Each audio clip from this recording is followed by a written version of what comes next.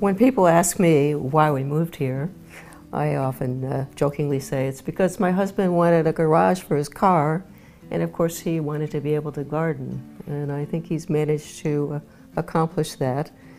One of his uh, hobbies has been daylilies. Usually about this time of year, the garden is ablaze with different colors of daylilies. It's pretty any time of the year. Even in the winter, the dead of winter, the tall grasses that are brown, they still look pretty. And the nandina along the fence are a bright red. And it's, it's an attractive backyard. I think you've done a wonderful job with it. Well, thank you.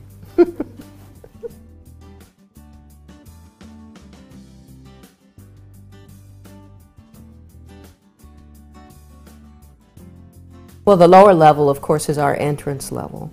There are mahogany doors with leaded glass windows.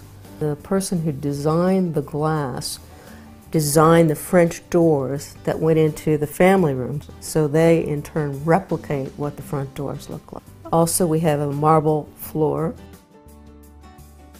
Now, for the last 20 years, that space has been office space. Now, we've converted it back to a family room. It could also be used as a suite. The window has been uh, upgraded to meet code. There's a wet bar down there.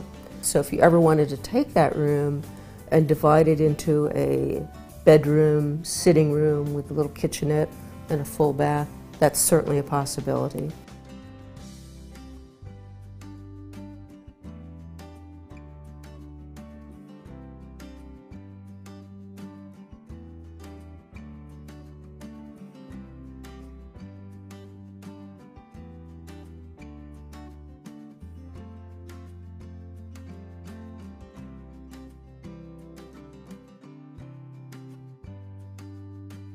We built a, another office behind the garage. As I said, there was a lot of space there. We've created what I called a mail room, but it could be even an office. And that too has a window for natural light.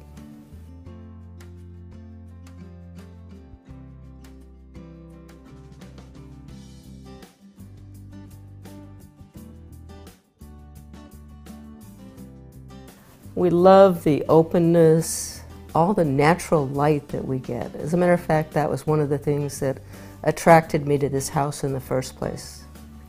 The fact that every single room gets natural light.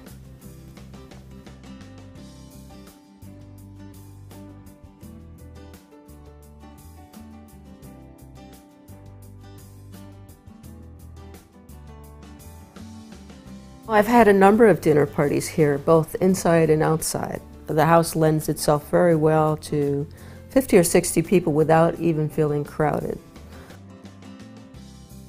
Now I've done sit-down dinners. I've also had events where we've had caterers and we've had tables outside. If you enjoy entertaining, it's going to be a great place for you to live. Uh, some of the things that we've really, really liked about this house is this new addition that we've put on. The addition, as you can see, includes a pretty good sized family room, an eating area, the almost floor to ceiling windows, plus we enlarged the dining room.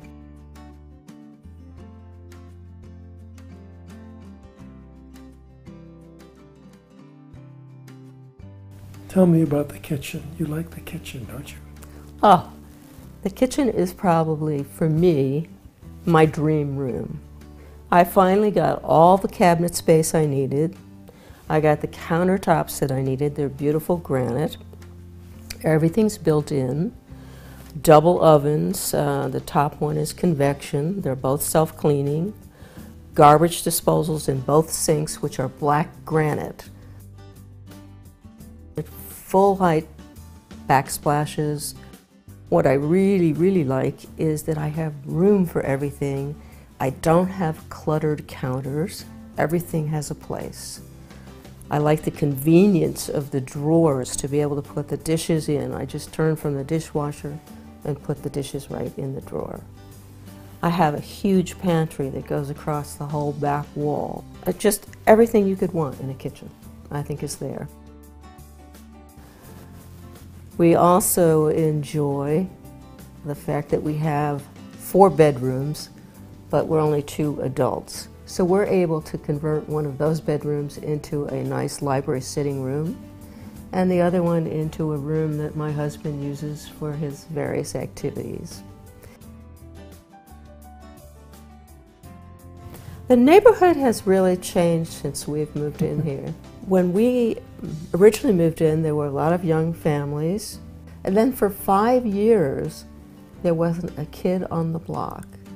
Now we've had a big turnover, and I think we have enough kids to fill a school bus. It's a very vibrant neighborhood, it's a friendly neighborhood, it's a very safe neighborhood, and because it's a cul-de-sac, I mean, the kids can play out on the street, which they do. They all love to play football soccer and all kinds of games. We also have a master bedroom suite, and one of the really, really nice features there is we redid the bathroom. We have a heated floor, we have dual showers, glass, and again, plenty of natural light that's coming in through the window, but filtered with a bamboo shade.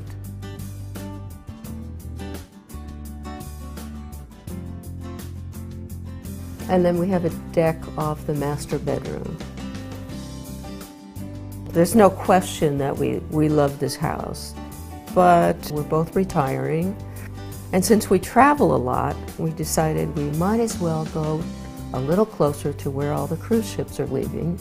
And so we'll be relocating to Florida. And yes, I'll miss the house, but I have a very positive feeling that whatever family is going to live here is going to be very, very happy.